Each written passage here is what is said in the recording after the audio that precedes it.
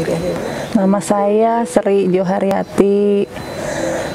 Pekerjaan saya sehari-hari pengantar makanan online di daerah Setiabudi.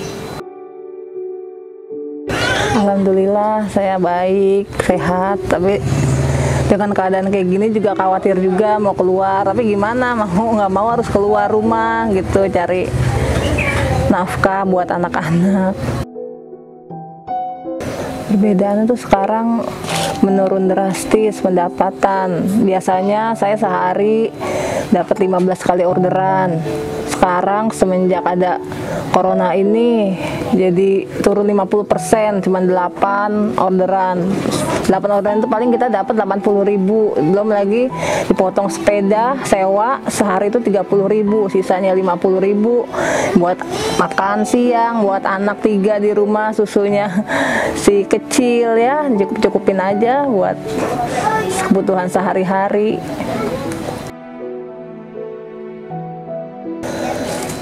saya kalau per bulan hitungannya saya selalu dapat harian saya buat uh, dapat hari ini buat makan besok ya dapat hari ini buat makan hari ini gitu. Jadi nggak kontrakan itu sebulan itu saya 800 ribu sehari itu paling nggak saya harus ngumpulin uang 20 ribu atau 25 ribu sehari harus, buat kontrakan 25 ribu sedangkan penghasilan sekarang sangat-sangat berkurang sekali Terima kasih Bakri Amanah sudah memberikan bantuan pangan kepada keluarga saya.